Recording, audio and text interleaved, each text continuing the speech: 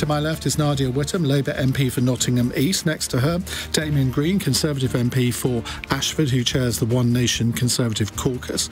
Um, to my right is Annabel Denham, Deputy Comment Editor of the Daily Telegraph, and making his debut on the programme, Nels Abbey, writer and broadcaster, who's the author of the satirical book Think Like a White Man. They're here to answer your questions. 0345 6060 973 is the number to call.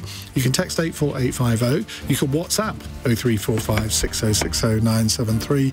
And you can say, Alexa, send a comment to LBC. There's no excuse for not getting in touch, really, is there?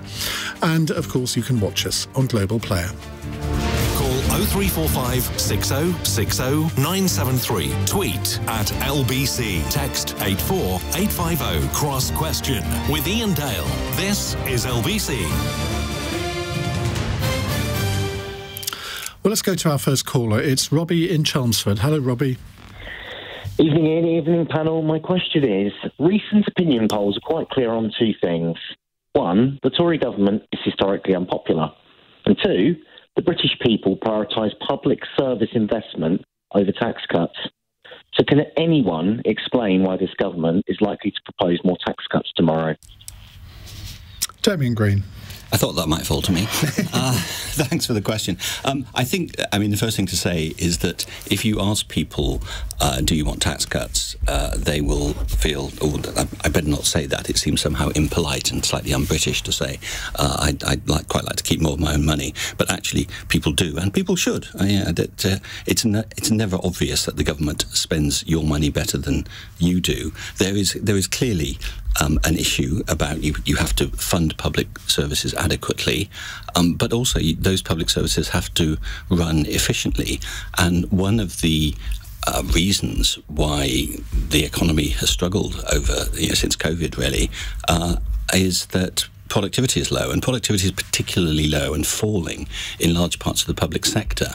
So I think you could get a lot more and better public services uh, if if they were run more efficiently, and that would give the chancellor room to allow all of us to keep more of the money uh, that we work for. But that implies cutting money from public services. Not necessarily, because the economy grows and well most of the time you know and it, you know it has uh, grown. It's been pretty anemic. I'm not going to deny that fact. Um, but uh, i'm sure this year we, we will see it growing uh, faster than it has. And I think one of the things that will contribute to that is to allow people uh, to keep more of their own money uh, so that, that, you know they can spend it in the way they like, and that in itself contributes to economic growth. Nadia. I mean, where to even start on that? Um, I think Robbie sums it up perfectly in his question, actually. And if we start with a bit of context, so we've had 14 years of Conservative governments. In that time, they said that they would level up areas like Nottingham. In fact, everything has got worse. The NHS is on its knees. We've got the worst recorded cost of living crisis. Um, the economy is in recession. Homelessness is soaring. Just yesterday, we had that harrowing story that 55 children have died in the last four years, and homelessness has been recorded as one of the causes of their deaths. Now, against the backdrop of that, the government is set to propose tax cuts funded by spending cuts. And I think when you've got 7 million people on NHS waiting lists and 2 billion pounds is set to be cut from from health spending that is unforgivable. It's not just me who thinks that. Two former Treasury advisors have said that this is the last thing that the British economy needs. Um, 16% of the British public would does not back tax cuts if that means spending cuts, exactly as Robbie said. When Damian talks about productivity, the way we increase productivity is by investing in our public services, not by further cutting them. You know, we've been told every year since 2010 let's trim the fat from public services. What is there left to cut? There isn't anything. And on on growth and the economy growing, we were told at the last budget that this would be a budget for growth, that, you know, short term pain for long term gain. Um, this future that we were promised, it's never arrived. So I just don't think we can believe a word. You, you mentioned two billion being cut from the NHS budget. That's that, that's a new one on me. Where, where, where did you hear that from? from um, that would be set to be cut from the health budget. But what, what, where's the source of that? I don't have the source to hand, but we could sit down and Google it together afterwards if you like. health, health spending's gone up hugely in recent years uh, to the point where it is taking a very large proportion of of the public sector, and and of course the NHS has problems, but actually money going into it isn't one of the problems. Which actually is what your colleague Wes Streeting has said. I mean, he, he's not promising huge amounts of money for the NHS, is he? If trimming the fat on public services was something that worked, then you know our NHS wouldn't be in a better position, councils wouldn't be in a better position. But we're seeing the opposite. That two billion figure, that's IFS analysis, and it's a projection for the coming year. Right, Amanda. Annabel. Annabel. I always call I was Amanda. wondering I at the outset why. how many times you'd call me Amanda. I know. I don't know why I've got it in my head. Ingrained in your I do- mind. I do apologise. Well, to the point on public services, um, I mean, when it comes to the NHS, as Damian has pointed out, we've seen a 2% increase in NHS funding um, across, as an average across the years of Conservative government. And now we're spending around £180 billion a year on the healthcare system.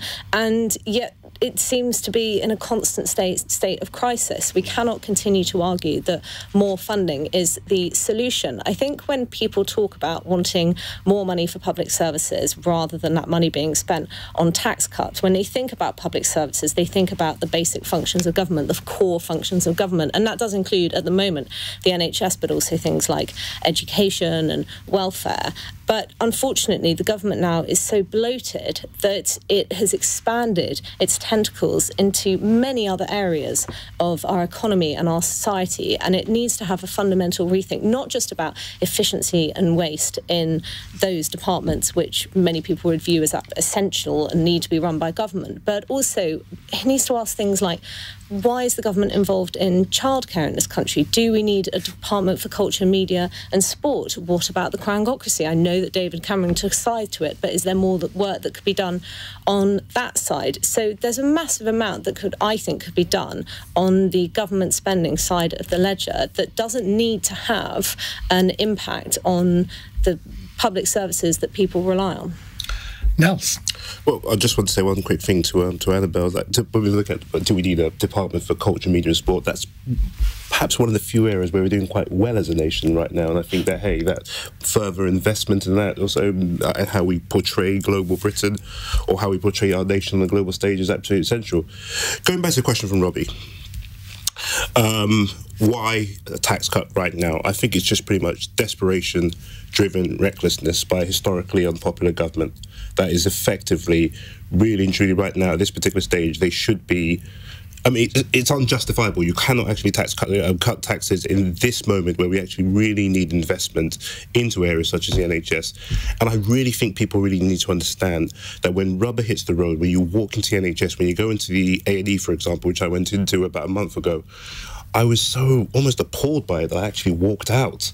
I felt it would be safer for me to go home and just actually try and grin and bear whatever I was going through than actually stay in the hospital and risk potentially catching something else. It was that dire.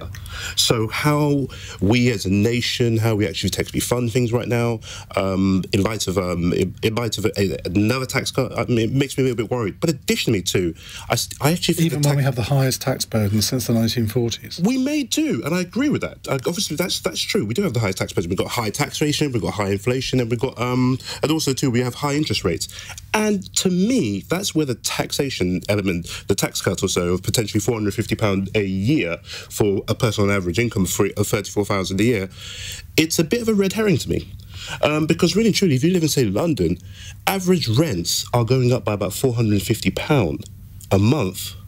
So that wipes that out already. Also, that that means pretty much you've got You'd be worse off without it. well, yeah, you would be worse off without it. But I mean, without again the recklessness of the government that we well of the of the Conservative Party, that uh, the governing Conservative Party or so, we wouldn't be in this situation right now. And that's where it becomes a lot more a lot more concerning to people because again, so, and I must point out too once again, too, so of course, cutting taxes is always nice um, for us, for everybody to get a little bit more money. But if your rent has gone up by 450, 500, or say my mortgage, which has gone up by 600 pound a month, giving me a little 450 pound or whatever it might be to me, uh, or removing the tax burden from me, it's nice on paper. But in reality, the matter is that it, it doesn't really do much to alleviate the problem that we're facing. Additionally, too, I must point out, particularly for renters, even if interest rates collapse tomorrow back down to 0%, which they won't, but let's say they did collapse back down to 0% tomorrow, the other issue we have is that interest, um, inflation is cumulative.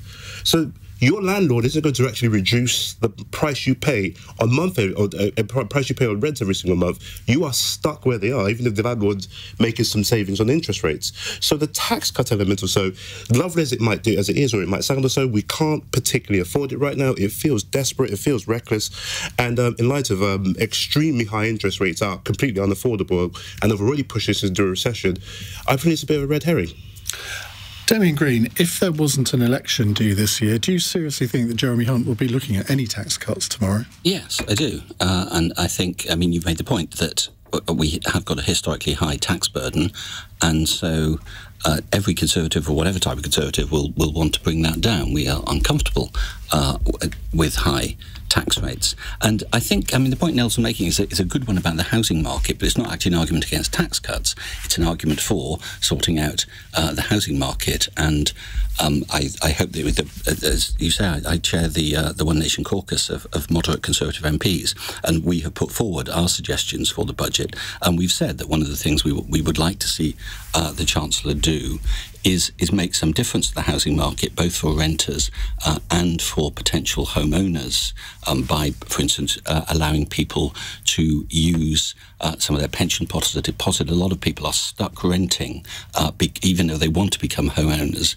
not because they couldn't afford the mortgage, because quite often a mortgage is mm. cheaper than a rent, um, but they can't afford the deposit. So actually, freeing those people up uh, to allow them to have a deposit would both um, give them a better life, which is obviously the point, but and also uh, free up uh, some of the rental market. How, well. how, much influence does the One Nation caucus have over the Chancellor? Because we keep hearing about all of these new groups popping up on the right. They all seem to have the same people as members of them, but all, all with different names. But I mean, people don't seem to realise that your group is actually the largest one of them all, isn't it? Yeah, we, t- we tend to be slightly less noisy um, because. Um, Maybe you should become a bit noisy. Well, we have become fairly noisy recently, but um, we, we, we try and um, work in, in private and, and you know, Jeremy Hunt is a One Nation Conservative, so um, he, he will come at things. I mean, we, he may not agree uh, with us on, on every individual matter, but he comes uh, from very much the same tradition of a, a pragmatic and practical approach, a non ideological approach.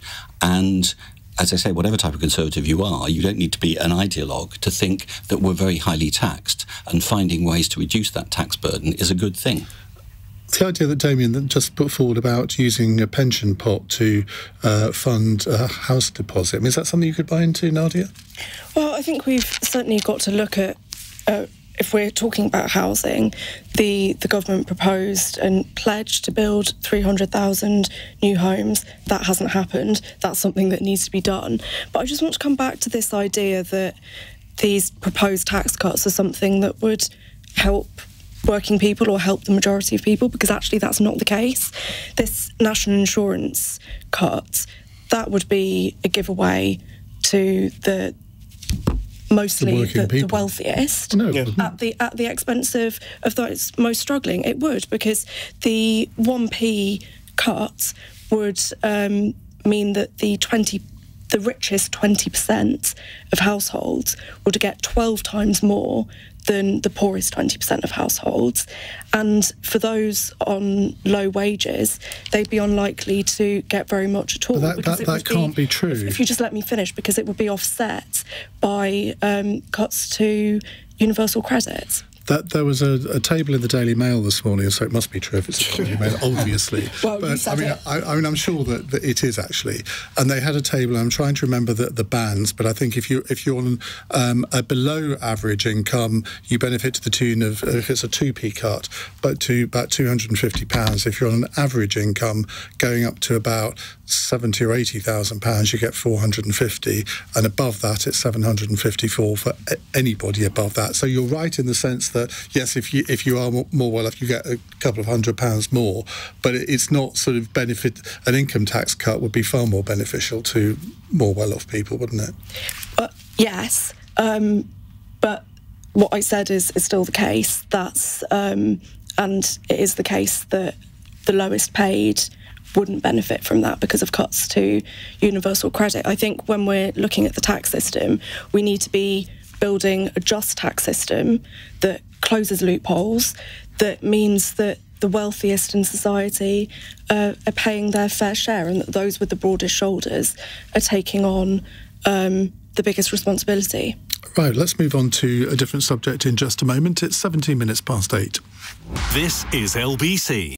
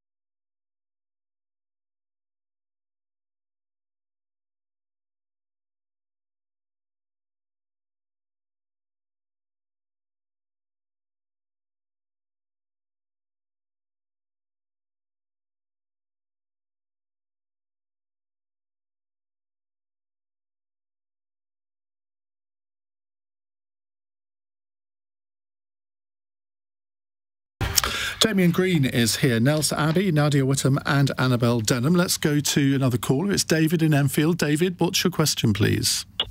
Yes, good evening, panel.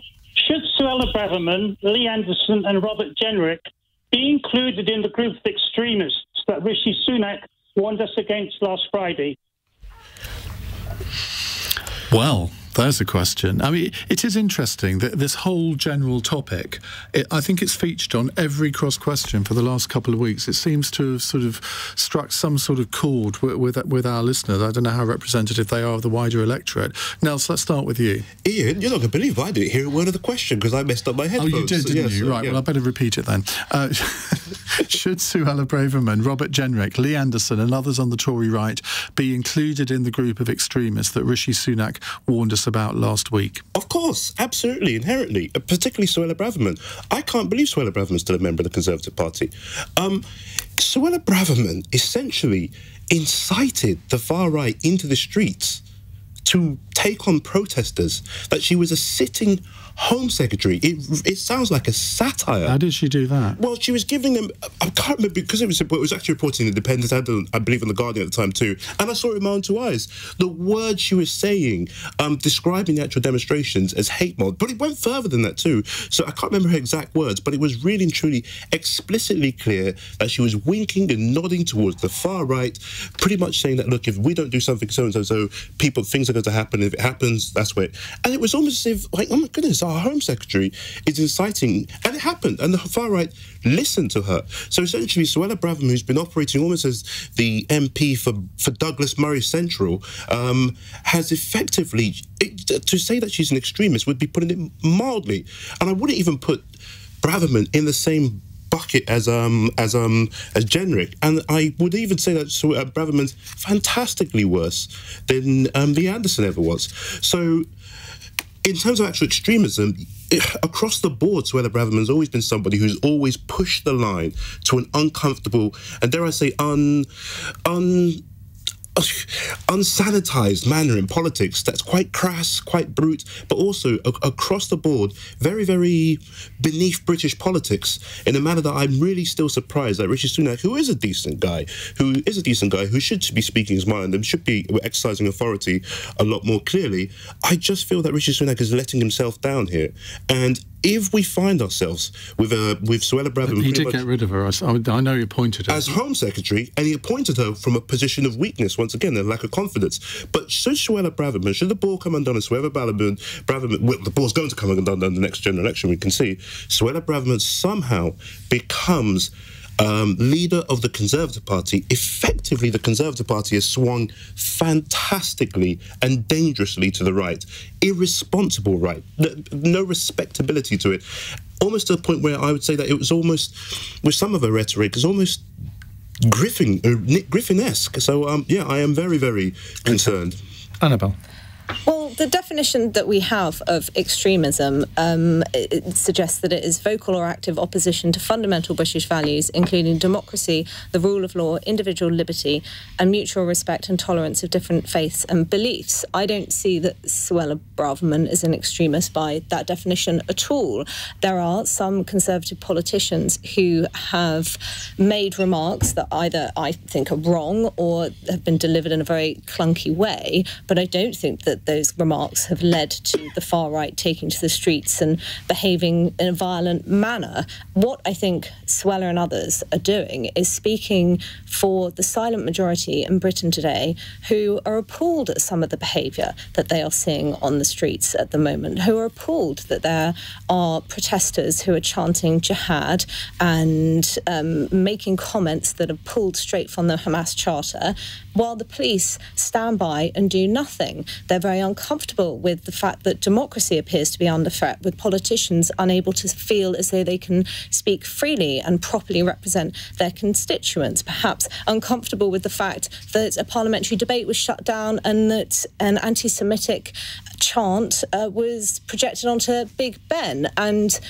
at the moment, I don't feel as though our political class are tackling this properly. And while the Prime Minister's speech was stirring and welcome in many regards, I think the part of the problem is the failure to acknowledge that the threat to our lives at the moment in Britain does not come in two equal halves, that Islamism makes up 75% of the terror caseload. And until we are willing to properly acknowledge that and properly talk about it and follow that up with robust action, then we can expect Tory politicians to perhaps strike out alone, as Lee Anderson and others have done, to try and assuage the British public who feel very unnerved by it. Sorry, every Muslim we disagree with is not an Islam. It's not a potential 9/11 hijacker or anything else. I must point out. Annabel didn't say that. But, no, I do, no, but say, no, I, am not saying that. But what we say, with the word Islamism is being thrown around willy nilly in a manner to, to describe describe a fantastic number of people who take a position, which actually is a popular position in the nation,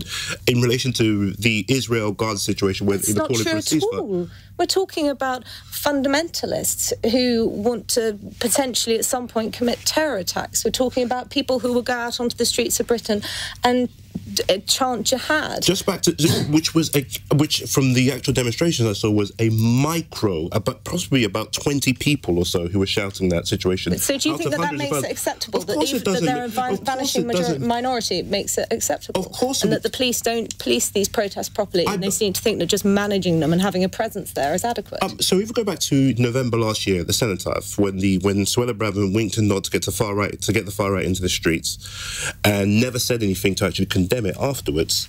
Um, if you actually take a look at it, nine police officers were injured that day. That was the. There hasn't been any re- reports of police officers getting injured other than when the sitting Home Secretary, sitting Conservative Home Secretary, winked and nodded, and almost was was whistle was uh, dog whistling for the for you, the whole you've made that point now, so let's bring in our other two panellists. Nadia. What David's referring to here, I think, is Michael Gove's um, proposed widening of the definition of extremism. I, I think obviously a balance needs to be struck between um, combating violent extremist ideology, which is obviously important, and protecting free speech and political activism. Obviously, this guidance hasn't been published yet, so um, we're we're speculating, and when it is published, I'll I'll read it carefully and take a view. But what I really worry about is the backdrop against which this is being proposed, and when when I say that, I mean the government curbing civil liberties and stirring division, stirring up um, a culture war that blames Muslims, trans people, migrants, you name it, for, for the problems that people are experiencing. But do you does- regard those three politicians that David mentioned in his questions as extremists? that does make me question the motivations of, of the government in bringing forward this legislation. And I think if the motivation was genuine, then they would be clamping down on extremism in their own party. You know, we have Suella Braverman and others talking about cultural Marxism, a well known anti Semitic dog whistle. Indeed. Um, we have when Suella Braverman was Home Secretary, she made that speech that was so deliberately reminiscent of Enoch Powell's Rivers of Blood speech. Only Enoch Powell was expelled from the Conservative Party for making that speech. She remained as Home Secretary. Damian Green, you can't, as a moderate conservative, be comfortable with some of the comments that Suella Braverman, Robert Jenrick, and Lee Anderson have made in all sorts of different ways over the past couple of months. I, I disagree with Suella on, on lots of things, but I think it is outrageously unfair to say that she encouraged far right demonstrations. That's a fact. It's not a fact, it's your opinion. No, no, no. It's There's a, a, difference is a, between a fact and an opinion. No, I, of course, I, I, discernibly is. Look, it's a fact. Sorry, I just want to point something out It, to it doesn't become a fact just because you say it is. No, I know it doesn't, but I want to point something out to just to Damian to uh, how you describe Damian just now as a moderate Tory. It's as a moderate conservative. Well, that was an opinion, not a fact. Well, no, well, that's how Damian described himself, which I'm going to take as a fact because I trust everything Damian says to me. But the key thing about it, even as you described it as a moderate Tory right there, it, ex- it, it, it indicates that there is a degree of extremism that has hijacked the Conservative Party. That almost to the point where the Conservative Party is not what it used All right, well, to effectively let- be. hit- Please, David. hit. Damian. It, it, it doesn't. It doesn't indicate that at all. I mean, that in, in a first past the post political system, a big successful political party uh, will have to have a range of views within it. Otherwise, you don't get elected. And as you know, I prefer there to be a conservative government, and I accept that there will be people in the Conservative Party in the Conservative government who will have different views from me. We, we subscribe to the same principles, um, but there'll be different views. But but I, I return to the point I was making, which is that I think to say that what Suella said was actually deliberately encouraging far right demonstrations is not fair to her. And, and on that, I will defend her, even though, as I say, I disagree with her and a lot of what she says. And I think what what this discussion um, illustrates as much as anything is that at times of heightened tension, the price we should all pay, politicians, commentators, journalists, everybody, uh, when we're discussing these very sensitive issues at a very sensitive time, is that we need to use moderation in our language and actually individual words, individual sentences matter. And and uh, Have you had that conversation with Lee Anderson?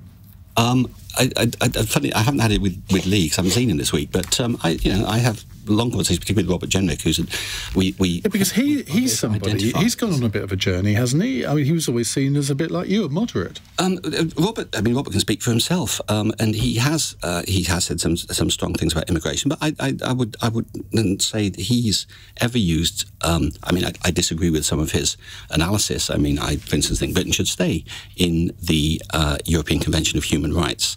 Um, but I don't think you would accuse him of extremist language. And uh, funny enough, can I shock everyone by agreeing a, a bit with, with, with, Nadia here when, when she says that the, the language of what the government is going to portray as extremism and put beyond the pale is itself really important. And, and I know that inside government, people have been grappling with this for many, many years because we, we have got the uh, definition that, that Annabel uh, read out. People think that may not be adequate. Well, ju- just on that, Luke in Kenilworth is texted to say Annabel reading out that definition has actually strengthened my belief that Braverman is an extremist. So there you go.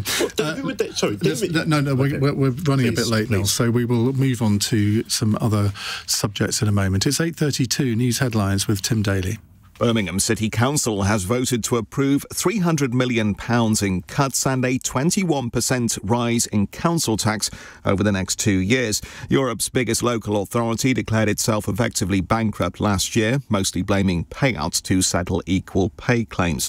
The Chancellor is expected to announce a £450 a year tax cut for the average worker when he sets out the budget tomorrow. In a repeat of his autumn statement, it's believed Jeremy Hunt will reduce national insurance by by 2%. And Donald Trump could all but take the Republican nomination for the US presidential election overnight. More primaries are happening in 15 states and one territory. LBC weather some rain for eastern areas tonight, with showers lingering in the far southeast, largely dry and clear elsewhere, with an overnight low of minus 2 degrees. This is LBC.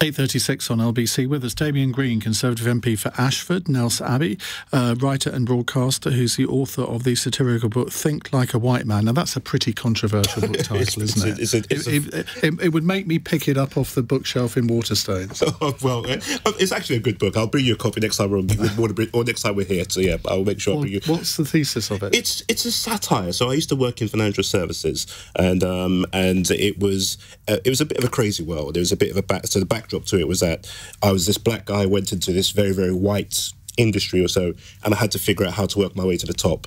And one of my mentors, I had two mentors, a white one and a black one, and that was the advice that was given to me.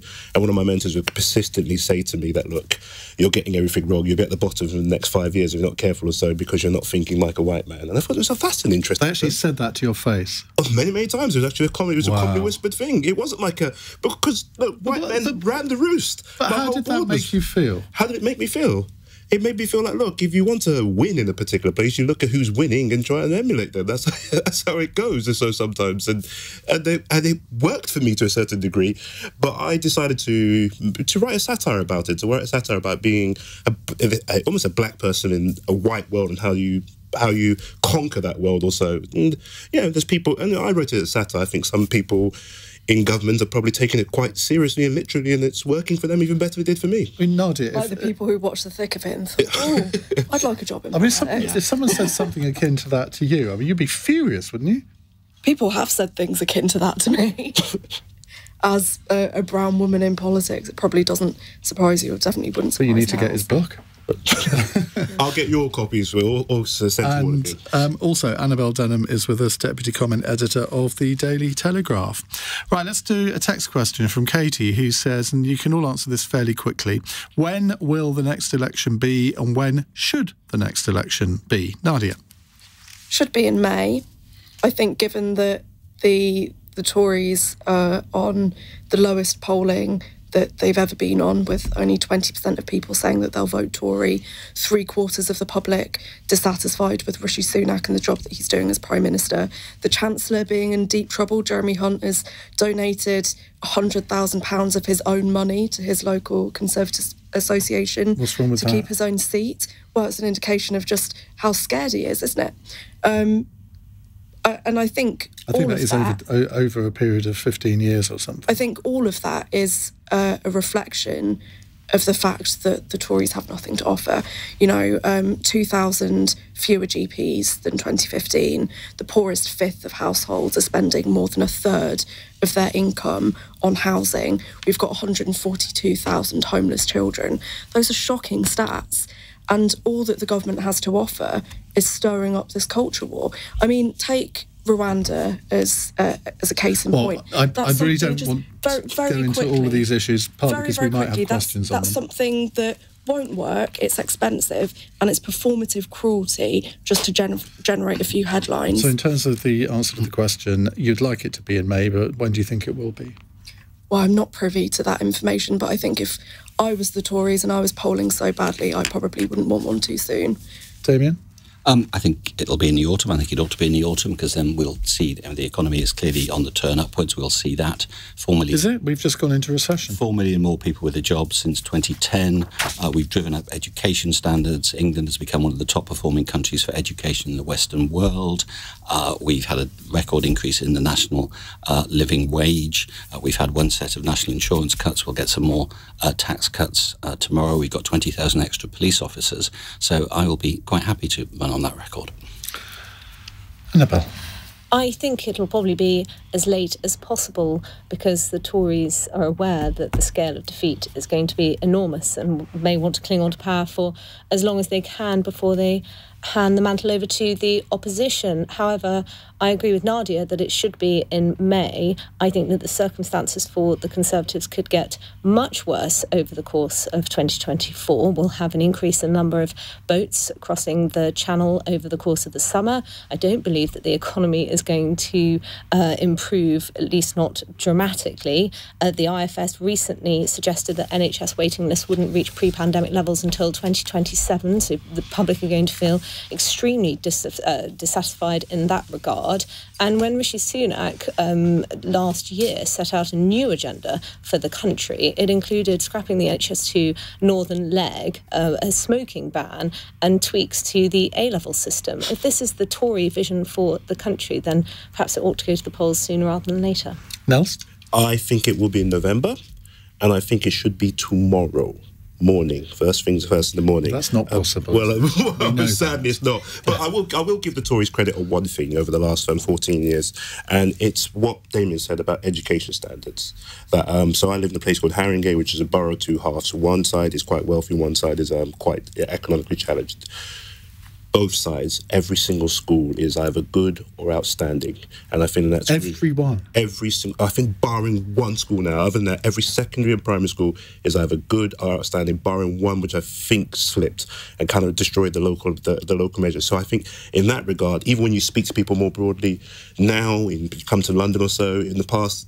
You wanted to get your child to get a good school, you send them outside of London. Now, if you want to, your child to get a good school, you can send them confidently into inner city London. And I think that's a very, very good thing. I remember I did something controversial many, many years ago. Um, I I looked at Ed Balls when he was education when he was education secretary, and Ed always seemed like he was really too focused on that one particular job.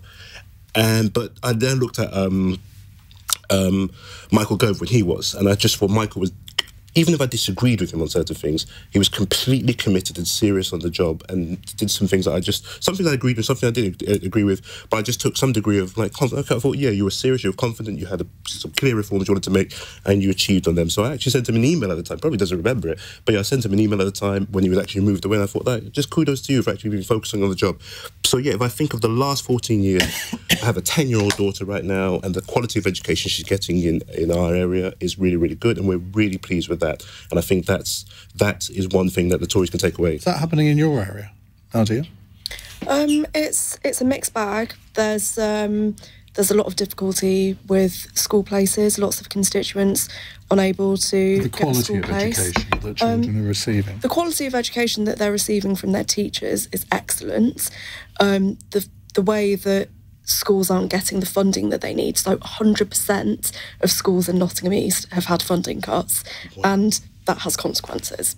Damian, you wanted to come in. I, I- I just want to um, pay tribute. And Nelson has, has paid, rightly paid tribute to uh, Michael Gove. I want to pay tribute to Nick Gibb, uh, who has been a really, really good schools minister for most of the last 14 years. He's been in and out of government, but, and he is not only good in himself, he is an argument for leaving someone in government in a job for a long time because they get across the detail, and if they've got a clear agenda, as Nick has, then you, you get measurable results. So, 88 percent uh, of schools are now uh, good or outstanding. It was 68 percent in um, in 2010. And, and Nels's point about Haringey uh, is, is great. That's what we want. You, Well, you if, know, well, if Keir Starmer and Sue Gray are listening, maybe they, they might take note, note of that. You never, you never know.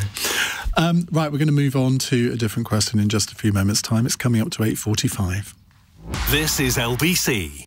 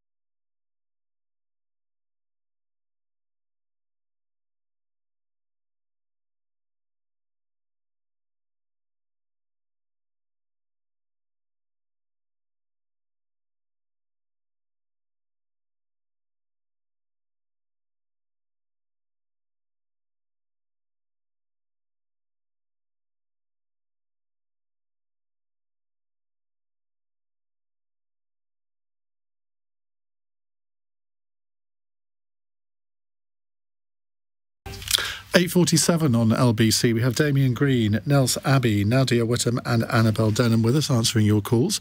It's one from Chris in Southend. Hello, Chris. Oh, yeah, good evening. Yeah, I didn't want to make two little points, but I'll, get to my main point, and that is that what is the government going to do about health tourism? Because I've heard a lot of, of talk, talk tonight about raising tax levels, raising national insurance. You ain't got to do any of that. Is my is my response. What you got to do is crack down on people who um, haven't got health, you know, haven't got health insurance, and they use the national health service. What you got to do is, is charge them on their travel insurance. When I went to Germany, I had to pay about four hundred pounds for a twisted ankle that I had. It's a bit more serious than that, but that's what to pay. So to me, what is the government doing? That money could could go a long, long way to filling the, the financial black hole that we've got in the NHS. Well, what what evidence evidence do you have that this is a big problem and it would raise huge amounts of money? Well, the main evidence I've got is, is an article that I read in the Daily Mail uh, four days ago saying apparently that there's been about 180 million pounds. Now, again, how accurate a Daily Mail is, I don't know.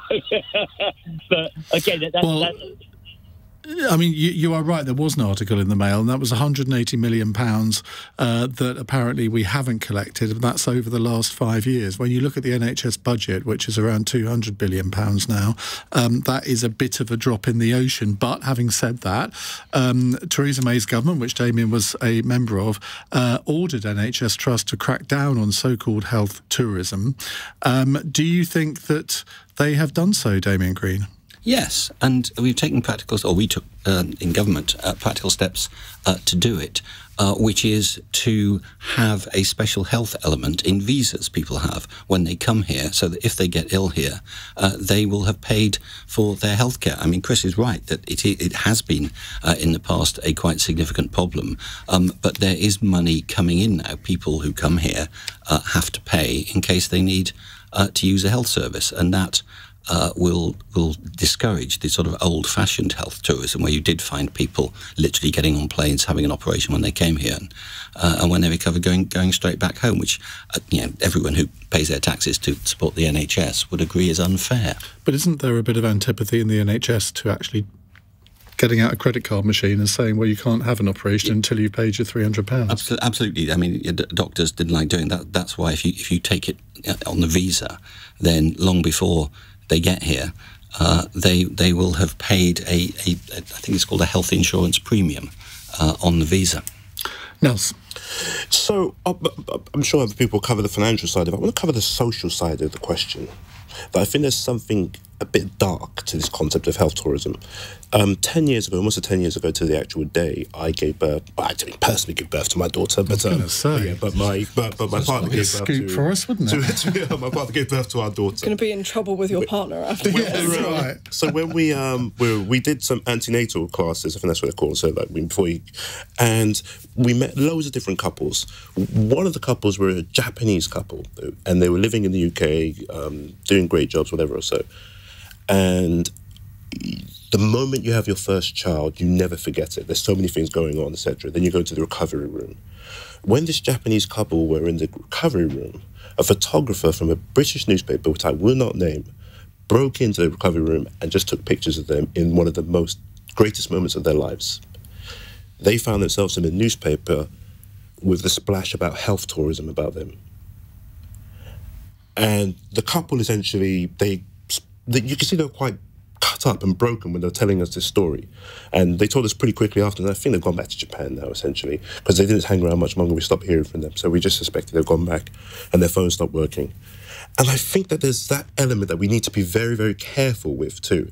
That the 118 million that um, potentially might be spent on people who are foreign or so, who we, which we haven't collected back, it's not the prettiest sum in the world. It's a drop in the ocean when it comes to the NHS. But the social cost of stories like that, and when people come into come into the country and perhaps they fall unwell, or they have an emergency, or they or they're here for work, or they're expats, whatever it might be, or they might just people be people who look a little bit or sound a little bit foreign, but they could be as British as the rest of us.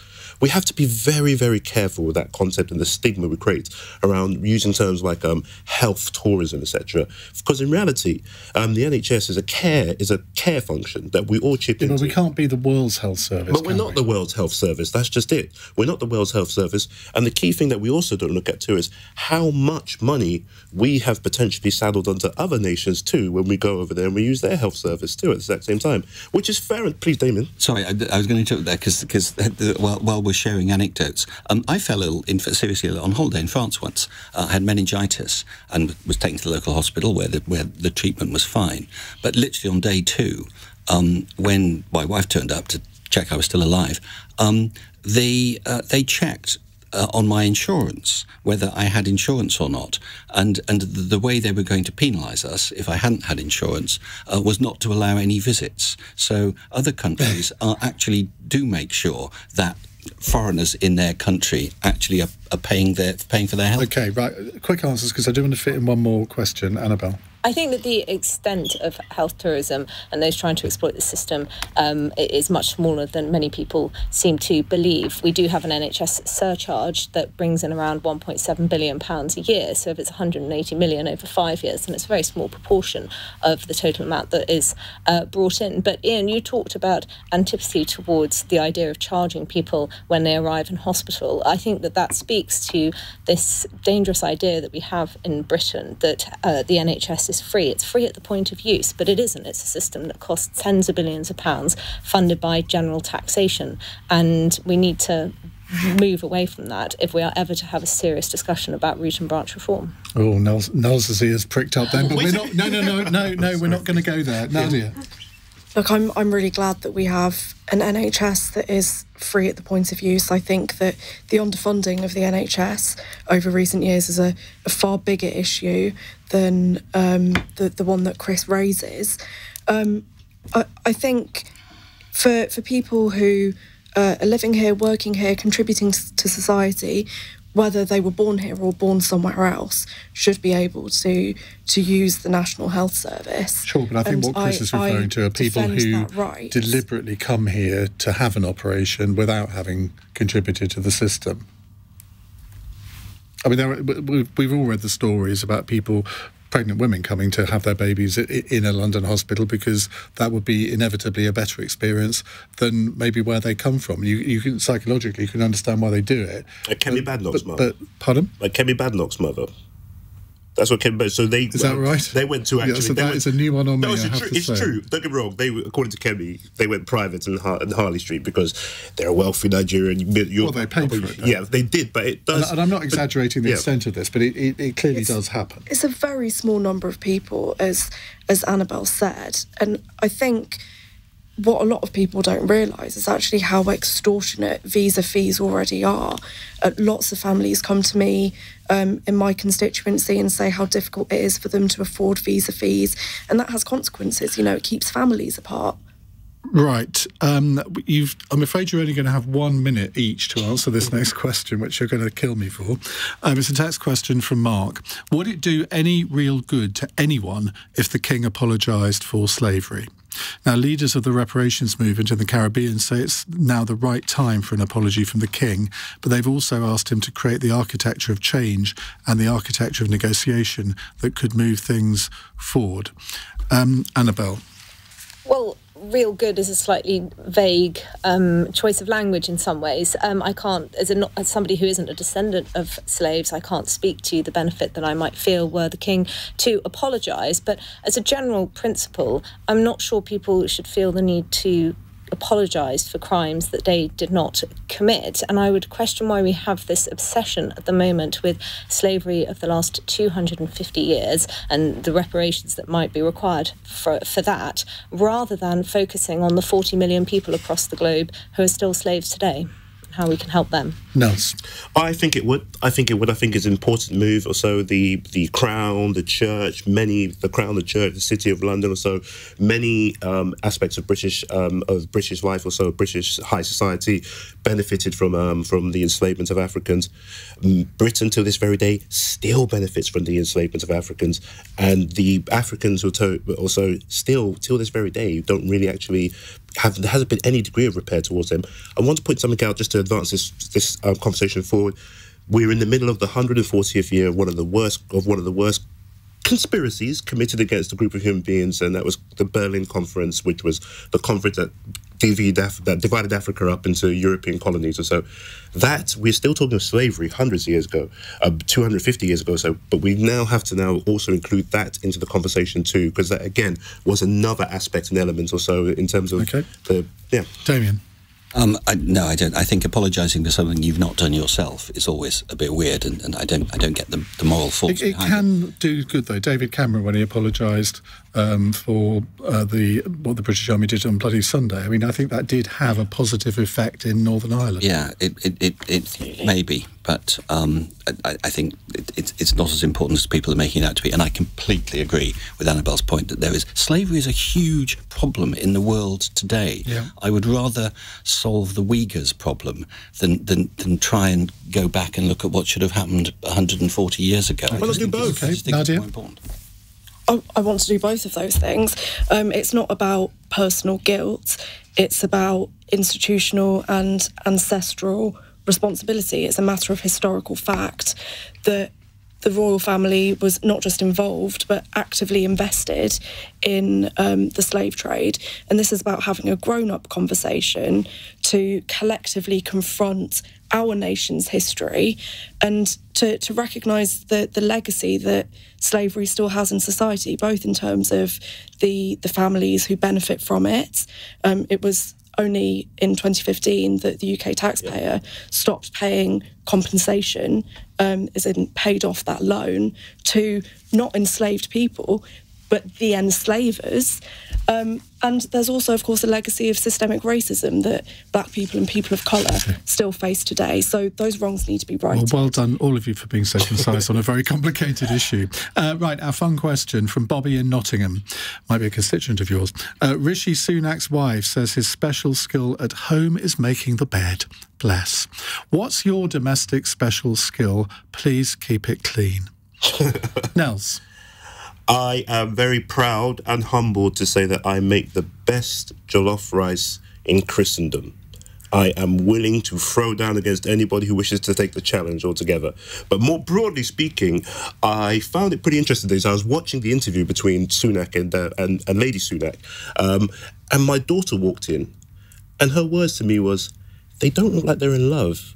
There's so much distance. You can really see it in their body Oh, language. don't say that. No, it's true. No, it's, it's true. that's It's a ten-year-old's observation. It's true. And if you go back and watch it, you'll probably notice it yourself too. Um, I'm not being horrible. I'm just saying. I'm saying it as I see it. You, you, you brought the tone down in that, I'm afraid. Right at the end of it. You were doing so well. Annabel. I uh, confess I'm pretty hopeless in the domestic realm. I'm a terrible cook despite my best efforts. I've had many Bridget Jones style disaster dinner parties. Um, however, I do derive s- a lot of satisfaction out of hoovering. I'm not sure why. Yes, the dirt is there and it's visible and you suck it up and it's gone and there's something so satisfying and enjoyable about that. You're But just weird. Nadia. No, on, on that point, I actually agree with Annabel. I um, hoovering is the one thing that I am better at doing than my partner. Otherwise, I'm also domestically useless. Although, if making the bed is considered to be a special skill at home, then maybe I'm not as bad as I thought I was. Damian?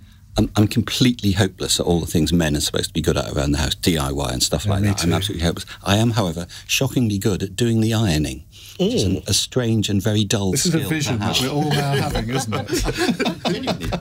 I quite like ironing. Well, no wonder your shirt looks so I so find it crisp. really Dare I say? See, I can't think of a single domestic thing that I'm either good at or would want to be good at. But uh, anyway, that's enough of that. Uh, thank you all very much, Damian Green, Nelson Abbey, Nadia Whittome, and Annabel Denham. On tomorrow's show, of course, it's Budget Day, and after the Shadow Chancellor Rachel Reeves takes your calls for an hour from seven, we'll have an expert panel of economists to help you make sense of things. They'll all disagree with each other, of course, and I'll be joined by Dr. Linda Yueh, one of my favourite economists, the former advisor to Labour's John McDonnell Ann Pettifor, the British Chambers of Commerce Director General Shevaun Haviland, and the entrepreneur and former Bank of England advisor Dr. Roger Gewolb. So they'll be with me tomorrow on Cross Question, and it's going to be an interesting day tomorrow. Coming up in the next hour, let's have a change of tone. Are vegetarians being squeezed out as restaurants offer more vegan options? People who avoid meat but still eat dairy, slam lazy eateries for lumping them together. It's a fight, ladies and gentlemen, between vegetarians and vegans, and we're going to have it over the next hour on LBC. What could possibly go wrong? Any vegans among you? Yeah, I'm, Let's I'm, hope- I'm vegan. You're Oh, vegan. I was about to say, let's hope they both. I think we, we should keep them um, all for this next hour. 0345 6060 973. If you're a vegetarian, do vegans somehow try and make you feel guilty for not being, well, vegan, I suppose? 0345 6060 973. On your radio, on Global Player, and Play LBC. leading Britain's conversation. This is LBC. From Global's newsroom, Birmingham City Council has voted to approve £300 million in cuts and raise council tax by 21% over the next two years. Europe's biggest local authority effectively declared itself bankrupt last year, putting much of the blame on the cost of settling equal pay claims. John Cotton is its Labour leader. I'm very sorry that we find ourselves in this position. I'm a Birmingham lad born and bred. I've lived my entire life.